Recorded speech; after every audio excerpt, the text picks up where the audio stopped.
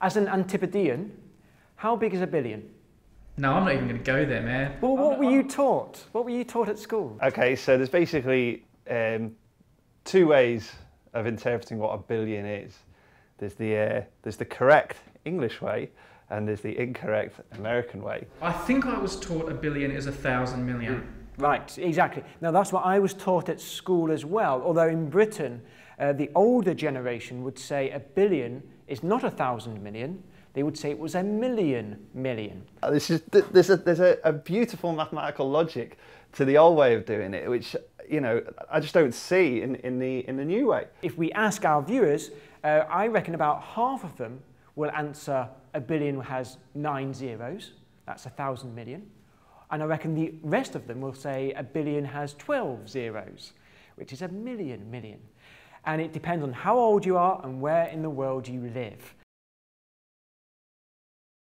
Let's be honest, real mathematicians and real scientists, if they've got a large number, they're not really going to use billions and trillions. They actually use standard form. So if I want to say something with 27 zeros, you'd write you know, something like this. You know, you'd be 5 times 10 to the 27. But if you're reading articles in the newspapers, on you know, BBC website, uh, they're going to use words like billions and trillions. Now, there is a dispute. There are two systems. There's the short system and the long system. So let's have a look at the short system first. So the short system is based on powers of 1,000. Let's start off with the number 1. Now, it is a power of 1,000. It's 1,000 to the power 0. So that's 1. What's the next step up? Well, you get 1,000, don't you? That is 1,000 to the power 1. That's three zeros. I'll put that over here. We've got three zeros there. What's the next step up? It's a million. Right, let's do a million. 1,000 squared. That's, that's six zeros. We've got six zeros. Uh, what's next up after that? Well, in the short system, the next one is a billion. So a billion, that's a thousand cubed, and that's 10 to the power 9, nine zeros. After that, you get a trillion, which is 1,000 to the power 4, and that's 10 to the power 12. That's 12 zeros. And we can keep going after that. So let's see, million, billion, trillion. The next one is quad, quintillion, a sextillion, septillion. This is what America uses, and it's what Britain uses, and it's what the English speaking world now uses. Britain adopted this officially, the government officially adopted the short system in 1974.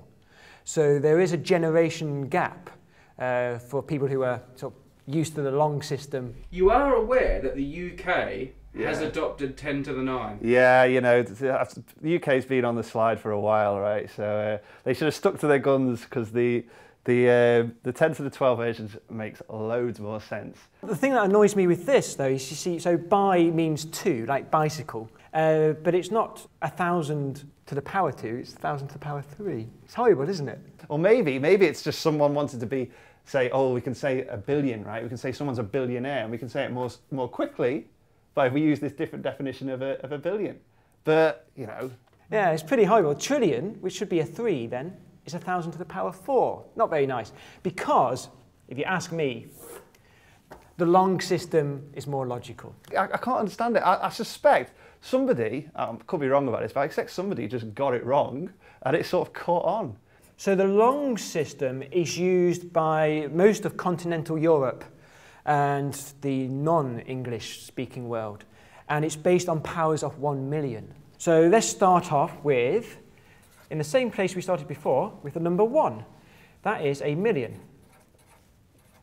to the power 0. Uh, so same as before. The next power is going to be here, a million. So that's a million Let's write it down to the power of 1. Now the next power of a million will be, and in the long system, it is called a billion, which is 1 million squared. It is a bi million, and that's where the word billion comes from. So it's a million to the power 2. So let's, let's join those up. So one is one, that's fine. Million and million are the same. But here, 12 zeros was called, in the short system, a trillion.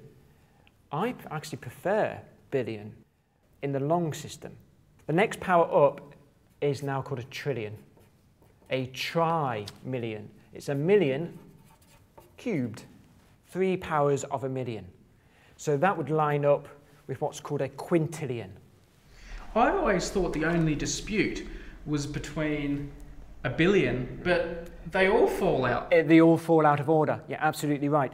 The, the long system, though, is more logical. The naming of the numbers are more logical. Billion, trillion has meaning, whereas they lose their meaning in the short system.